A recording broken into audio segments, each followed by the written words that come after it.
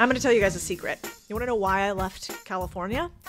Because, quite honestly, the state no longer makes any sense whatsoever to live in if you're running a business or make any money at all. The only thing California has done right is the things that Mother Nature gave her, like the rolling beaches, the incredible lakes and ski resorts, the citizens, our military. Other than that, they've basically lost their minds.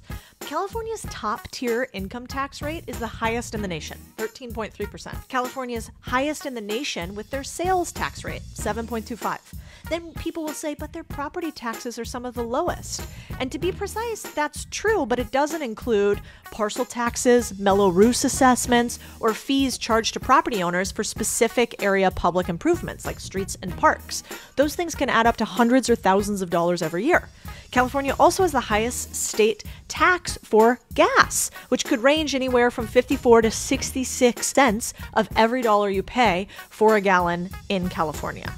Texas is 20 cents by comparison. So, why did I leave California? Because I believe that the money you make, you should largely keep, except for generally agreed upon services. And given the fact that California is consistently close to bankruptcy, tells me they weren't using my tax dollars well.